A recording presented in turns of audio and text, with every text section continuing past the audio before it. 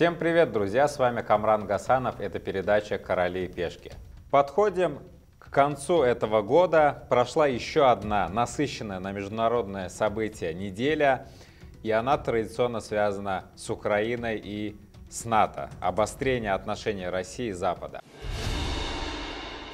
Самое главное событие, оно произошло в конце недели. Это большая пресс-конференция Владимира Путина, где журналисты задавали разные вопросы.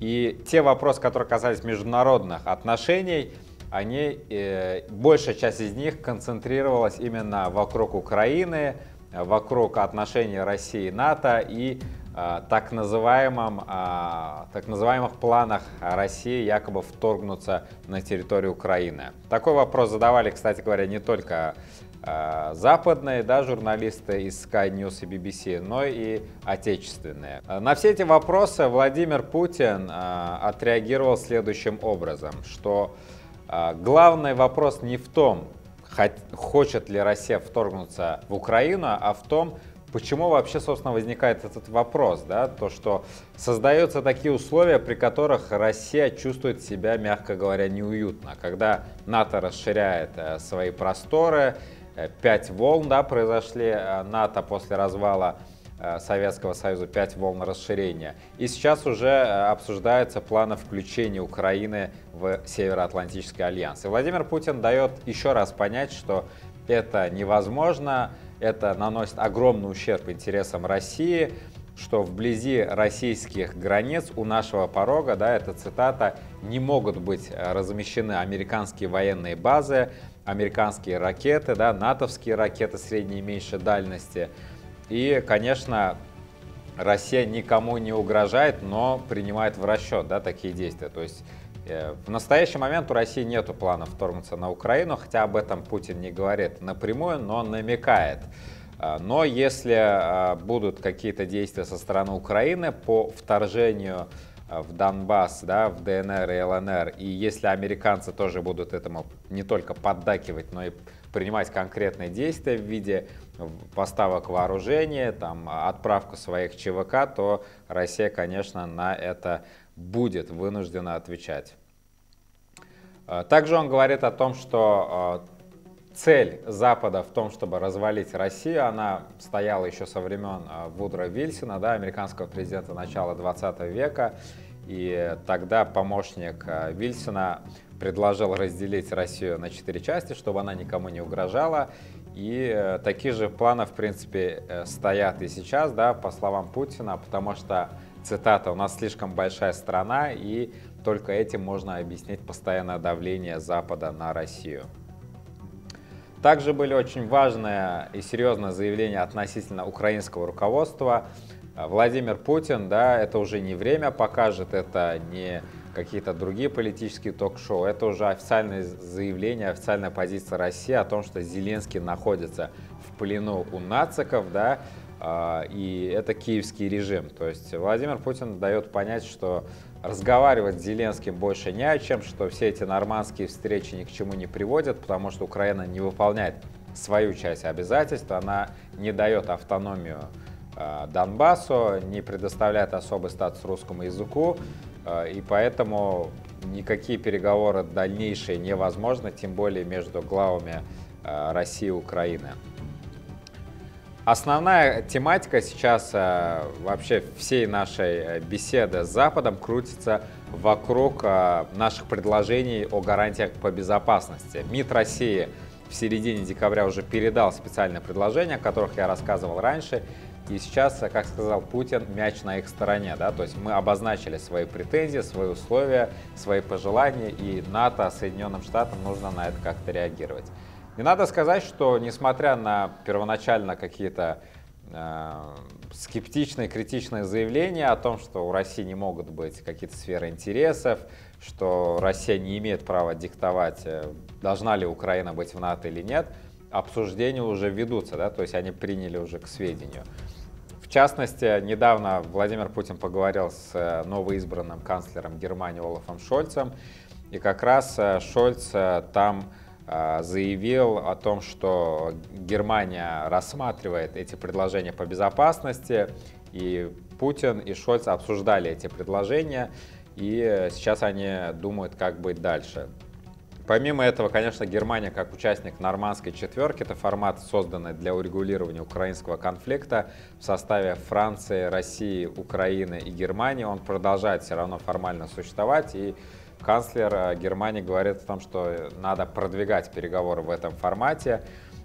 И на это Путин э, возражает, что продвижение зависит от того, как будет вести себя Украина, будет ли она принимать те поправки, о которых я сказал выше.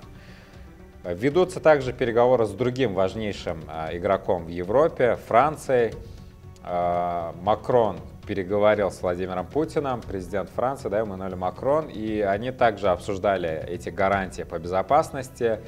Э, параллельно идут, кстати говоря, переговоры между Соединенными Штатами и Европой по тем же документам, да, которые передала Россия, потому что эти документы касаются непосредственно Европы, да, потому что мы же говорим, уберите отсюда свои военные базы, уберите отсюда свои ракеты, не расширяйтесь. То есть все это происходит в Восточной Европе. Конечно, Франция и Германия здесь непосредственные игроки, поэтому э, американцы с ними непосредственно разговаривают. Да, и вот встречались э, пере, вели переговоры госсекретарь США Энтони Блинкен и глава дипломатии ЕС Жозеп Барель. И они договорились о том, что любые договоренности между США и России по безопасности, НАТО и России по безопасности, они не могут идти в обход Европы. Ну и, конечно, можно сказать, вишенка на торте. Переговоры идут уже также между Россией и Соединенными Штатами да, по линии Министерства иностранных дел. И Лавров заявил о том, что прошел первый раунд переговоров по гарантиям по безопасности.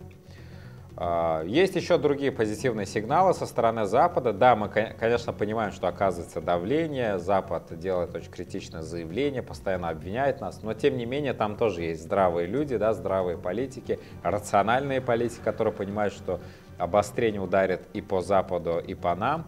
Делают э, очень важное, на мой взгляд, заявление. Вот, в частности, генеральный секретарь НАТО Йенс Столтенберг э, призвал или предложил возобновить формат НАТО-Россия. Это формат, э, в рамках которого Россия и Североатлантический альянс ведут диалог, поддерживают отношения, а они, как мы знаем, с 2014 года, со времен Евромайдана, были прерваны. Но западные СМИ, да, в частности американские, все равно должны были добавить ложку дегтя в эту бочку меда и вот э, телеканал CNN заявил о том, что якобы Байден дал своей команде 4 недели на выработку таких мер, которые бы остановили Путина от наступления в Украину. Но это, конечно, абсурд, да, потому что у России нет планов э, наступать на Украину при условии, что там не будут какие-то провокационные действия, да, которые непосредственно ущемляют интересы России, интересы русскоязычного населения ДНР и ЛНР. Но вот э, CNN пишет, что якобы Байден готовит э, за, пазу, за пазухой дубинку да, и рассматривает варианты различных санкций. Так ли это на самом деле, я в этом очень сомневаюсь. Но то, что Запад может ввести новые санкции, это и без CNN мы и так знаем. Из Германии приходят э, снова не очень позитивные новости. Да? Новый министр обороны Кристина Ламбрехт, это третья женщина министра обороны Германии на минуточку, заявила о том, что необходимо ужесточить санкции против России. А, одновременно МИД Германии, да, который возглавляет очень антироссийский политик, а, Анна Лена Бербак, да, это зеленый политик, она э, очень раскритиковала намерение России выслать в ответном порядке немецких дипломатов. И, конечно, это тоже вызывает лишь улыбку, потому что ну, немцы сами да, выслали наших дипломатов, под э, предлогами, да, надуманными, они не предоставили конкретных доказательств, и когда мы поступаем зеркально, это их почему-то обижает, да, то есть они хотят, чтобы они нас били, а мы просто подставляли вторую щеку, да, чтобы мы никак себя не защищали. И еще один удар по России с Германией, закрыли вещание телеканала Russia Today на немецком языке. Надо сказать, что этот канал буквально на этой неделе появился, да, он совершенно новый, потому что было вещание на английском языке, на арабском, а вот немецкого именно телеканала, да, не было, был только сайт у Russia Today. Но не прошло и трех дней, как немцы его остановили. Это опять-таки говорит о том, что на Западе очень боятся информационной войны, очень боятся альтернативной точки зрения, и та же самая пропаганда, в которой они обвиняют Россию, работает и у них на все сто.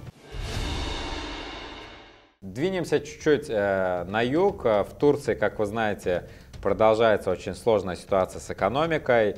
Э, Эрдоган борется с лирой, борется с Центральным банком и Западом э, в одном лице. И он принял экстраординарные меры, да, чрезвычайные меры по укреплению национальной валюты. В частности, люди, которые э, держат свои деньги в долларах, да, э, в лирах и э, во время падения лиры по отношению к доллару им обещана компенсация, да, то есть если у меня сбережения в лире, э, мне обменивают по текущему курсу, который намного ниже, чем, допустим, там неделю назад, то государство предоставляет определенные компенсации для того, чтобы люди не страдали. Кроме того, повышена зарплата примерно в полтора раза, это на самом деле историческое событие да, для Турции, никто такого не делал. И э, применили особые правила по депозитам в турецких лирах.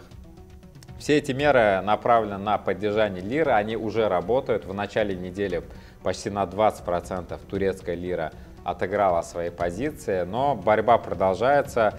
Э, Эрдоган э, играет на грани фола, да, понижает э, дальше процентные ставки, надеясь на активизацию экономики но все держится на доверии. Да? Мы знаем, что в экономике очень важен психологический фактор, доверие инвесторов, населения. И если турки разом начнут э, переводить свои активы в доллары, распродавать лиры, то, конечно, это может привести к гиперинфляции с непредсказуемыми политическими последствиями.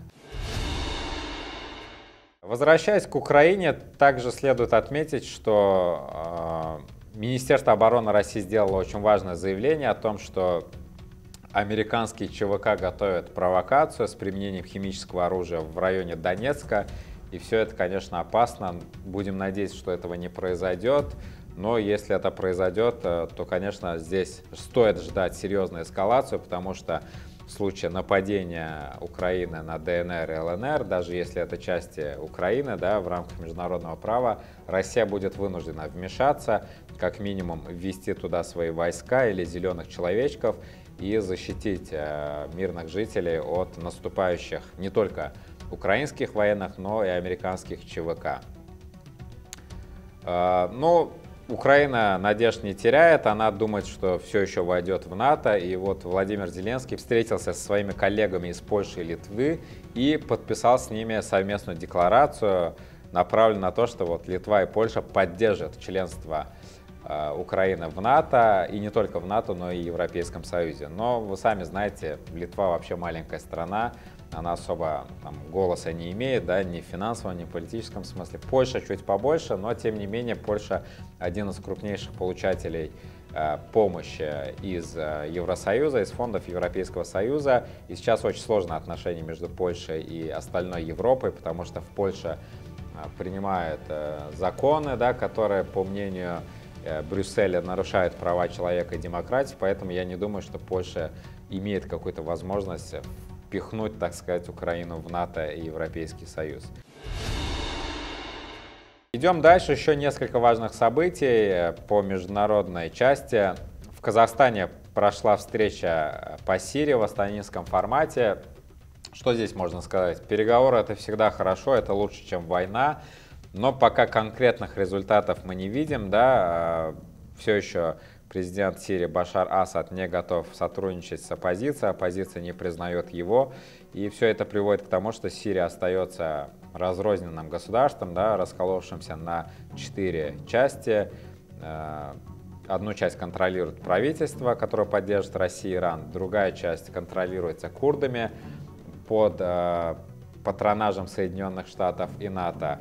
Есть э, зоны, где прибывают террористы, да, там ни у кого контроля нет, это регион Идлиба, и остальные территории на севере под контролем оппозиции с поддержкой Турции.